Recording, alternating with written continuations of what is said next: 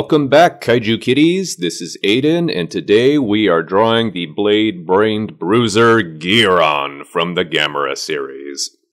Gamera is a topic of a lot of love and a lot of hate, even from hardcore kaiju fans, and I think a lot of it is dealing with a series that is very silly and very much intended for children, which obviously gets some fanboys up in a snit.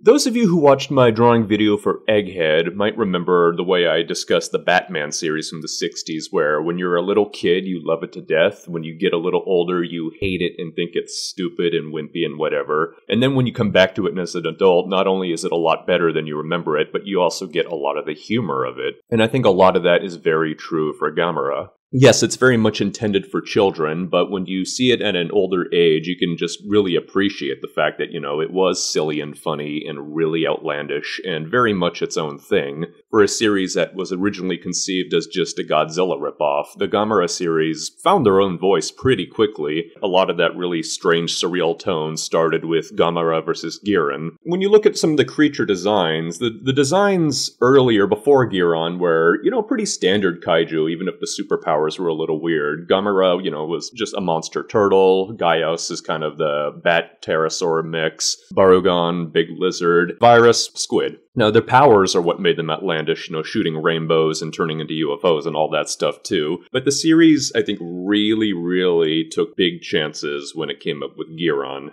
Just just look at this thing. I mean, first of all, it, it does a little bit annoy me when I have to draw a monster whose head I can't fit into the picture, but there's no choice with Guiron. If you really have never seen what this creature looks like, go watch the movie or do a Google image search for it, and I guarantee you there is really nothing like it up until it was ripped off for Pacific Rim, where you know every, every kaiju in that movie has a big knife for a head. Well, it started with this guy, whatever the hell he is. I think that's the reason why I love Guiron so much was just it's a very unique design. There nothing really quite like it before in Kaiju Eiga, and you definitely would not have seen something like this in the Godzilla Showa series, maybe until the 70s, but even then, I, I don't know. Do you do you consider Gigan to be a stranger design than Guiron? Maybe they're maybe well they're they're cut from the same cloth. Uh cut I hate myself.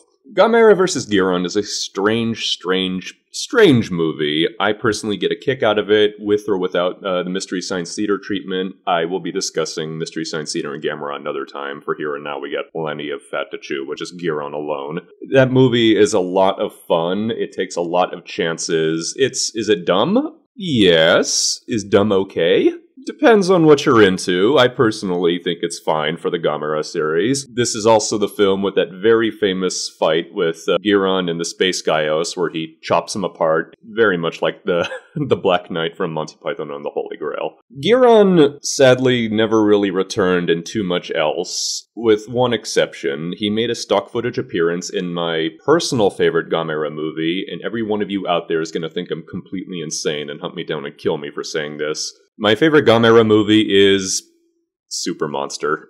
Yep, the stock footage one. The cheap $2 budget equivalent to Gamera doing their own destroy all monsters, but with, with you know no budget whatsoever. And it's still a funny, crazy, insane movie with superhero women and a weird alien. And seek it out if you get a chance, and you'll get to see Guiron one more time. Oddly enough, doing the exact same moves he did in Gamera vs. Guiron. I, I wonder why.